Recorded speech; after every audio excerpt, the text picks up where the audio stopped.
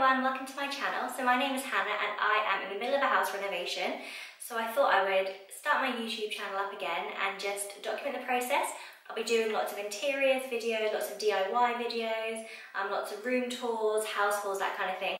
So please stick around if you're interested in that kind of content because I'll be uploading two videos a week and I'd love to have you join. So today's video is going to be a ensuite bathroom tour. So that's where I am now. You may have seen a sneak peek of this bathroom in my previous video, which was actually a whole house clean with me. So if you love cleaning videos like I do, please go and have a look at that and then come back and watch this one. Or go and watch that one after you watch this one, that's probably best. So I will link up here for you to go and have a look at that.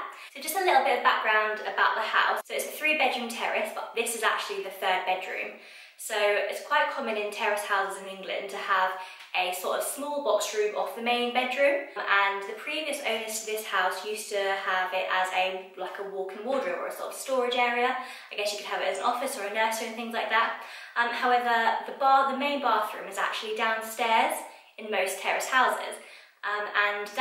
We still have a lovely bathroom downstairs that we've just recently renovated as well.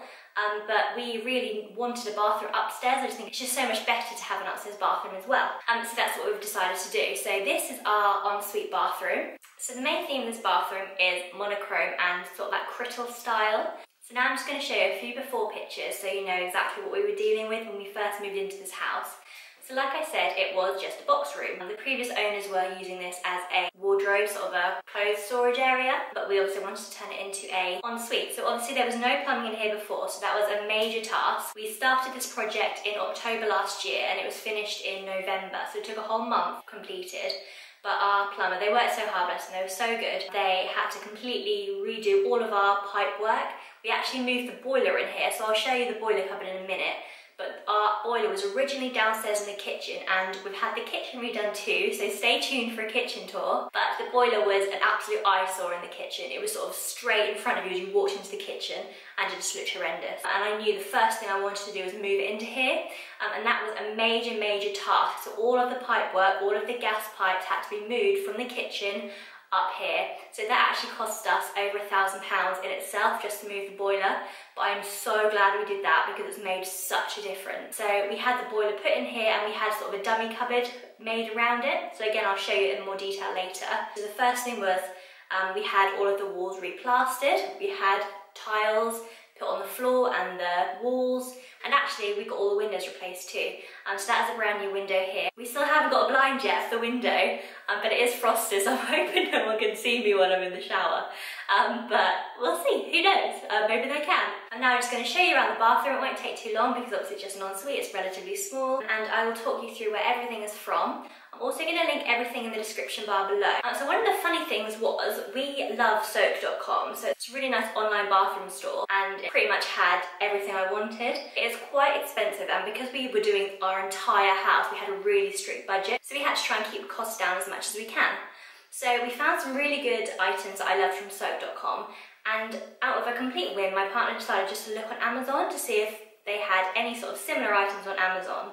Um, and we found the exact same products, but for half the price. And the funny thing was, when everything was delivered, they were actually delivered in soak.com boxes, and the customer service was soak.com, which was just crazy to me. Um, but I'm very glad we found that out. So I guess now it's just time to start the tour. So this is the shot as you walk into the bathroom. So the first thing I'm going to show you is the plant stand. If you did watch my last video, which was a clean with me, you'll know we are in the middle of renovating. So that is the next room we are doing. So we've had the walls plastered and we've painted, we just need to stand on the floor and do the skirting boards. So please excuse that. So I'll be showing the rest of the renovation process in that bedroom soon, so do stick around if you're interested in this kind of content. So this is actually from Sainsbury's. Now Sainsbury's have some amazing pieces in and the plant is from Beards and Daisies. So this is the most high maintenance plant. So I actually love this plant. It's got the beautiful pink underside and it's got these really vibrant green leaves with the sort of pink stripes. But anyway, the plant stand is this beautiful green color. Now that's the theme you'll see throughout this video is this gorgeous green that I absolutely love.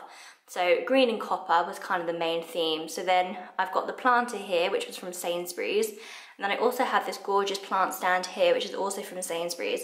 Now, I got these obviously last year, um, so they're probably not in stock anymore, but if I do find anything similar, I will link them below.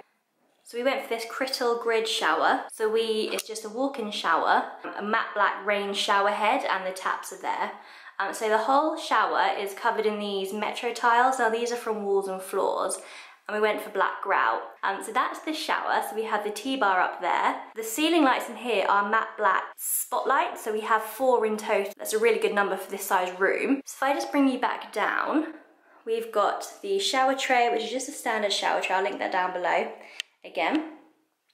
The floor tiles are these absolutely beautiful hexagon floor tiles and these were also from Walls and Floors and they come in a sheet. Then if I just show you this corner here, I've got another plant. Now this is a striped prayer plant, I think they're called. It's from the Calathea family. And again, it's probably looking a bit worse for wears now, but um, I'm trying my best to keep this alive. And the pot is just a pot from Homebase. I'm going to be getting a different pot, but for now, this one does the job. Now, this little basket here is from Ikea, and I think it works really well in this bathroom, just to hold extra towels and things. So these are all clean towels that we'll be switching out when the other ones go in the wash. And again, we've got a half tiled wall here with the walls and floors, flat, matte, white, Metro tiles. Now this is the boiler cupboard now, um, but originally this wasn't a cupboard at all. Um, so this is a stud wall that our builder put in, which was absolutely amazing. And the door is from Wickes and the handle is from B&Q, I believe. So I'll link those down below as well. But I really love the effect that this gives. And it's absolutely great to just shove things in here when we want to. So there's the boiler, so it really was an eyesore downstairs in the kitchen, so I'm so glad we put it in here. So then moving round, we have some more um, tiles. So now this is the window with no blind, um, so we need to get a blind here. Um, but then we have the toilet and the toilet roll holder. So this is a matte black toilet roll holder and that's just from Matalan. The toilet is from soak.com and then we've got the sink which is one of my favourite pieces in this bathroom actually. It's got this gorgeous wood effect which really complements the sort of pops of green we've got in here as well. So this is actually from iBath UK. So the tap and the plug are also from iBath UK on Amazon. And then one of the best purchases I made was this beautiful Crittall style mirror. This was an absolute bargain from Aldi for £55. Now they are sold out now, so you won't be able to get your hands on one of these, but I'm so chuffed that I managed to pick this up when it was in stock. So I will link some similar ones down below if you like the style mirror, because I know they're really, really popular at the minute. The drawers are really good and really deep, and you can fit so much stuff in there. I'm not gonna show you what's in the drawers because they're a bit of a mess. Maybe I'll do a bathroom organisation video soon as well. All of the taps in this bathroom are matte black, which is great and they look beautiful, but we're in quite a hard water area, so it does take quite a lot of cleaning. And then finally we have our towel rail, which is matte black, and it is from Amazon. And then we have our towels, which again are this gorgeous green color, and they're from John Lewis. They are 100% Egyptian cotton towels, and they're really, really, really lovely. So that's it. So if I just give you a final view of the bathroom. So as you walk in, you've got the shower on the left-hand side, which is a complete walk-in shower.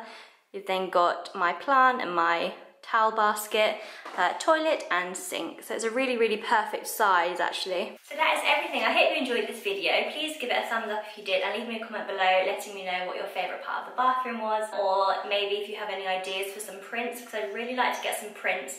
Maybe here above the plant or maybe above the towel rail. I've seen this really amazing zebra print with some sort of green foliage around it which I think would look really, really nice. So let me know if you think there's anything that would suit this bathroom. So please like and subscribe and I will see you in my next video. Bye!